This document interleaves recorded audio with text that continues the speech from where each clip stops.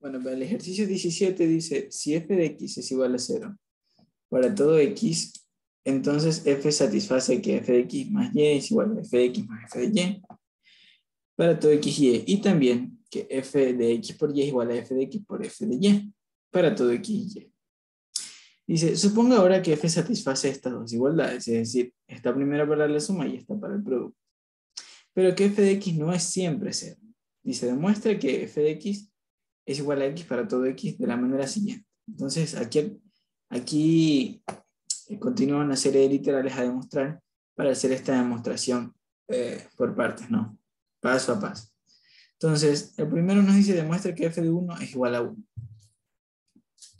Entonces, para esto, vamos a ver lo siguiente.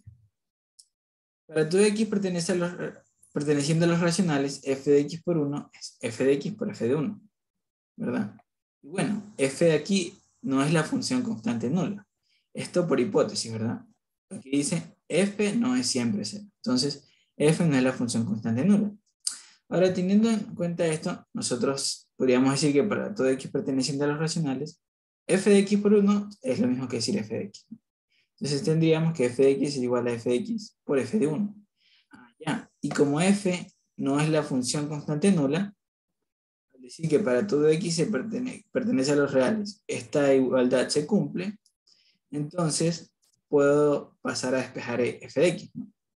Es decir, puedo cancelar f de x en ambos términos. Porque para algún x, al menos para algún x, este f de x es distinto de 0. Y cuando es distinto de 0, puedo hacer la cancelación respectiva y llegar a la conclusión de que f de 1 será igual a 1. Y así hemos demostrado pues, el literal A. Ahora, pero el literal B dice, muestra que f de x es igual a x si es que x es racional. Y para ello vamos a retomar una consecuencia o resultado del ejercicio anterior. Y es que anteriormente se demostró que para todo x racional, f de x se puede escribir como f de 1 por x. Allá, pero como f de 1 es en este caso 1, llegaríamos a que f de x es igual a x para todo x racional. Y así demostramos el ítem B. Para el ítem C dice, demuestra que f de x es positivo si x lo es. Dice, esta parte es más complicada, pero si el lector ha prestado atención a las observaciones filosóficas que acompañan a los problemas de los dos últimos capítulos, sabrá cómo resolverlo. Entonces, para ello, veámonos que si x es un número positivo, entonces lo puedo escribir como el cuadrado de su raíz cuadrada. De tal modo que f de x lo puedo escribir como f evaluado en la raíz de x al cuadrado.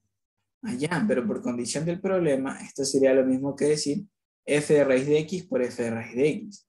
Lo que escrito de otra forma es f de raíz de x todo al cuadrado. Allá, esto es un número elevado al cuadrado. Por tanto, será mayor o igual que 0, de donde ya obtenemos que f de x será mayor o igual que 0 siempre que x sea mayor que 0. Pero nosotros, más que demostrar que es mayor o igual que 0, tenemos que demostrar que es estrictamente mayor que 0. Para lo cual, supongamos que tenemos un x positivo y f de x es 0. Es decir, tomemos la posibilidad de que f de x sea igual a 0, a ver si es, esa posibilidad es pues, posible. Entonces, es realmente posible, para ver si es que es realmente posible. ¿no? Entonces, veamos que si x es mayor que 0 y f de x es igual a 0, tendríamos en ese caso que f de 1 puedo escribirlo como f de x por 1 sobre x. Esto es lícito porque aquí x es no, nulo, ¿verdad? Al ser mayor que 0 es distinto de 0. Ya, en este punto ya podemos utilizar eh, la hipótesis, ¿no? Esto de f de x por f de 1 sobre x es lo mismo que decir, en este caso, que f de 1 sería igual a f de x por f de 1 sobre x.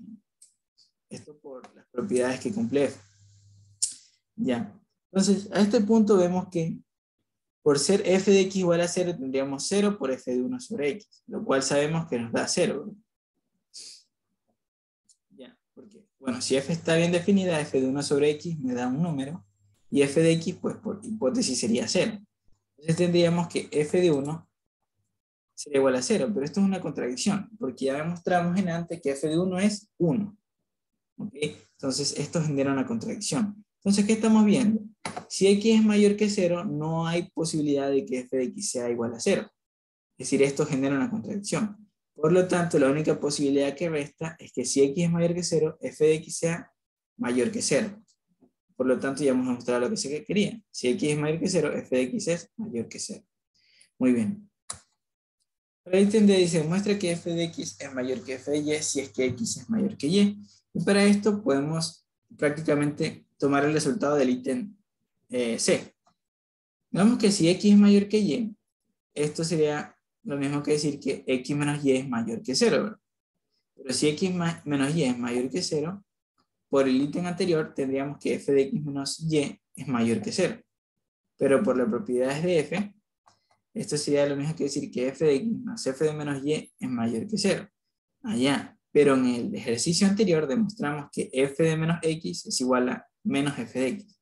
En este caso en particular, f de menos y sería igual a menos f de y, teniendo así que f de x menos f de y es mayor que 0.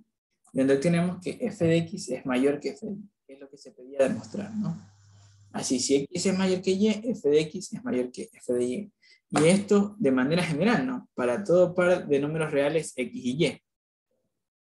Entonces, vamos con el ítem D, con el ítem E, perdón. Dice, demuestra que f de x es igual a x para todo x. Recordemos que antes lo demostramos para los racionales, ahora tendríamos que demostrarlo para todo número real. Por ello, el autor como pista y ayuda nos dice, utilice el hecho de que entre dos números reales cualesquiera existe un número racional. Entonces hagamos eh, uso de ello, ¿no?